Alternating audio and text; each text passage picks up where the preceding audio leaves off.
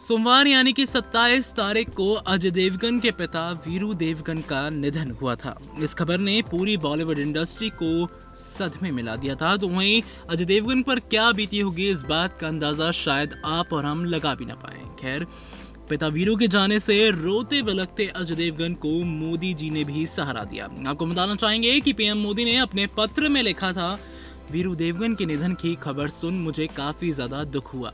Hindi film industry के दिए उनके योगदान की हम सराहना करते हैं। बॉलीवुड के लिए ये बड़ी क्षति है। इतना ही नहीं, अजय देवगन ने यह भी लिखा कि मेरी माँ और पूरी देवगन फैमिली पीएम मोदी के इस पत्र और व्यवहार के लिए आभारी है। शुक्रिया, सर। तो वहीं धन्यवाद किया प्रधानमंत्री मोदी को अजय देवगन ने। नेक्स्ट नाइन न्यूज़ रूम से अजय रिपोर्ट।